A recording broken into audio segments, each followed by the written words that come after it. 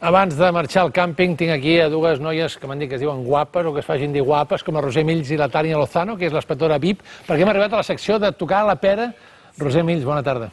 Bona tarda, ara toquem la pera, però en equip. En perquè equip. jo crec que és millor. Doncs avui tenim la Tània Lozano, que és periodista. Sí, Tània? soc periodista, treballo a la ràdio i avui estic en un àmbit que no és molt el meu, però bueno, encantada d'estar aquí. Però ens interessa la teva mirada, Sí, clar. perquè és inspectora. clar. Som-hi, perquè tenim cinc ítems, senyora Roser Mills. Sí, la- primer de tot és l'Olga Biza, que ella és un clàssic d'aquesta secció. Sí. L'Olga ens porta personatges molt diferents, alguns famosíssims, alguns no tan coneguts Però pel públic. superintel·lectuals. Bueno, és que aquesta senyora que ens ha portat és catedràtica d'àlgebra, Sí, sí. eh, de matemàtiques, un Sí, sí. crac. La I a mi Pilar m'agrada... Bayer. Pilar Bayer. Bayer. I a mi el que m'agrada és el que fa el diumenge. Tu què fas el diumenge? Jo Tània? descansar, però aquesta dona, per desestressar-se, què fa? Física. Estudia física. Estudia Al matí. física. A la tarda descansa una mica, escoltem. Tu, eh, els diumenges a la tarda què fas?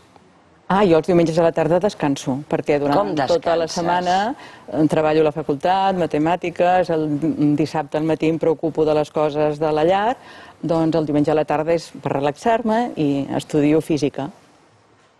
Jo faig errors de càlcul cada dia, però com a matemàtica aprenc a corregir-los. Fer matemàtiques vol dir equivocar-te, corregir, equivocar-te, corregir. I a la vida igual. El que has de procurar és que els errors no s'acumulin. Aquesta frase a mi m'agrada molt, eh? Perquè ve d'una matemàtica que sap de què parla. Sap de què parla? Jo el diumenge a la tarda el que feia era fer missa. Segon tema, l'escudella. Bé, el, el moment Escudella jo crec que ha estat de lo més divertit de la setmana, però no perquè l'Escudella són 1.000 plats, 350 litros d'aigua, Sí, sí. 80 quilos de pasta, sinó per un moment que passa mentre Amb la està Meritxell, eh? Vam la estar a l'escudella de recapte l'Arenys de Mar Sí. dimarts. En litres pues, hi ha uns 350 aproximadament, més o menys, que bueno, per persona seria difícil de calcular per, per la quantitat de gent que ve, perquè això, al ser així de poble, pues, hi ha gent que porta, s'emporta a casa, per la seva família, per lo que sigui. Llavors nosaltres contem aproximadament un- uns 1.000 plats, entre 800 i 1.000 plats que surten d'aquí. Les persones, pues, com dic, és relatiu, les que venen. Unes mil racions es serviran d'aquesta escudella que heu anat fent des de les 10 del matí, no? Com és aquest procés d'anar posant els ingredients? Eh, mm, bueno, clar, això arribem a ben d'hora al matí ja per, per una mica preparar tot el material perquè intentem que cap allà a les 10 pues, pugui estir ja l'aigua i el foc, perquè hem de comptar que tants litros triguen moltes hores en bullir. Tani, això passa als periodistes. Estàs fent una, un directe i per darrere apareix algú amb una pancarta Sí. que aquí no llegíem ni què era.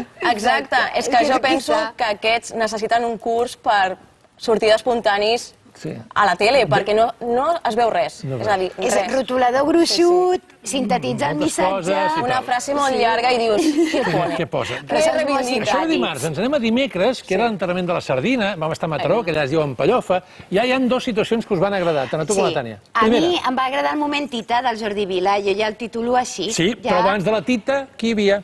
Bueno, és La que monja. hi ha una monja que fuma, Fumant. monges que fumen, que també ens va agradar moltíssim. Molt graciós. Hi ha molta gent, com podeu veure, molts personatges. Una, una, una monja. Hola, què tal, guapo? Molt bé, gràcies, eh? Sí, eh? Anem a veure, anem a veure en Pallofa. I Tània, què et sembla Jordi Vila? M'encanten els seus jerseis. Sempre estic esperant per veure quin jersei porta el Jordi Vila, eh? És De veritat, molt fan, molt fan. El més modern, fan. 1982. I les teves camises també m'agraden molt, Xavi, eh? Ah, Ets va, molt va. galant. ets Ara anem a allò que has dit abans, que no sé, que és la Tita també, en Pallofa? potser. Què passava? Lo de la Tita, el moment Tita del Jordi Vila. Anem a mirar una mica més com és aquest, aquest carnestoltes, que té una tita, eh? se- s'han regalat moltes d'aquestes tites, i, en fi, fem una cosa. Si et sembla, d'aquí 20 minuts eh, tots aquests personatges es eh, for- formaran una comitiva, que serà la, comi la comitiva fúnebre d'aquest carnestoltes. Ella ha trobat que ho havia de destacar perquè no es veia prou. Es veia totalment. Penso que, que es Bueno, podia 36 anys de Tita Mataró, ja ho hem vist. Eh? Sí, sí. Bueno, i de la Tita anem a una peruana, eh? Anem a la llama? Anem a la llama. A, a, resulta que el Gerard Quintana treu un nou disc, Sí. ets sopa de cabra, Ex i ara cabra. es torna sopa de llama. Què és la llama? molt interessant. La veritat és que jo no la vaig veure fins que no la va treure pel disco, perquè hi ha tantes coses per aquí que costa concentrar-se. D'on surt aquesta llama? Una llama, ho Del ensenyem, Perú, que Perú. és també la contraportada de, del disc. Sí, la gent diu, i aquesta gallina tan estranya?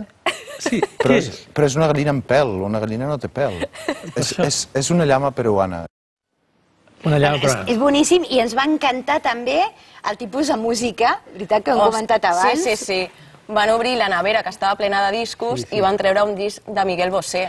No ens quadra. No ens quadra un amb un roquer que, que escolti Miguel Bosé és una mica... Era el primer disc. Sí. Doncs ens agrada molt que portessis la Tània, perquè la Tània, que treballa a la Gràcies. ràdio, és Sí. seguidora del Vespre 2, i clar, si ho va dient per la ràdio, cada vegada ens veurà més gent. I fa molts tuits, a més. Sí, de soc Vespre tuitera, de soc dos. tuitera. Doncs mira, hi ha un company vostre que ha fet un tuit que diu Vaya par de guapes. Gràcies a les dues. Doncs gràcies a tu, Xavi. Encantada. I ara ens toca, anava a dir una altra guapa, i és veritat, els esports, amb Montse Busquets.